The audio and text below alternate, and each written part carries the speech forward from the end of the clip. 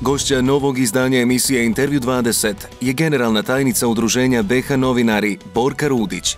Evo sad, dok mi, dok mi snimamo ovaj intervju, e, aktuelan jedan slučaj e, pritiska kantonalnog tužiteljstva na urednika Slobodne Bosne Sena Davdića, na njihovog advokata Dražena Zubaka. E, kantonalno tužiteljstvo je otvorilo istragu protiv njih i traži da otkriju kako su dobili neke povjerljive dokumente.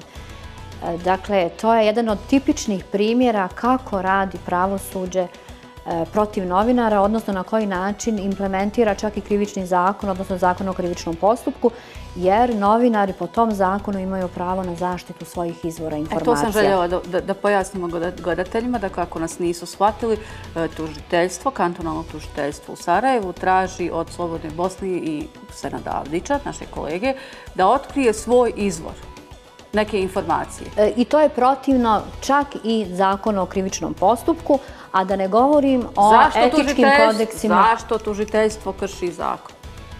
E, ja mogu to tumašiti na dva načina. Jedan je da želi vršiti pritisak na Slobodnu Bosnu, a drugi je da tužiteljica koja je otvorila istragu ne zna zakon o krivičnom postupku i ne zna kodekse novinarske etike.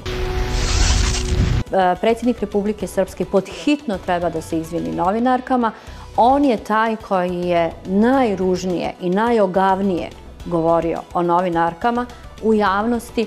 Čak ih je prozivao i zbog nacije, i zbog izgleda, i zbog toga kako rade i pokazao jednu vrstu slabosti muškarca prema ženama. Aktualni ministar sigurnosti, gospodin Mektić, izvrijeđao novinarku radio televizije Republike Srpske vrlo brutalno ministar sigurnosti, dakle jednog važnog ministarstva, demonstrira silu i vrijeđa novinarke ne zbog njihovog posla, ne zbog nečega što im on zamjera, već zbog njihovog izgleda. To je jedan od tipičnih primjera uvreda na spolnoj osnovi, tipični primjer mizoginije i ministar ako hoće e, da pokaže se da je demokrata i da ozbiljno radi svoj posao, on se mora izviniti novinarkama radio televizije Republike Srpske. Intervju 20 обавезно погледайте –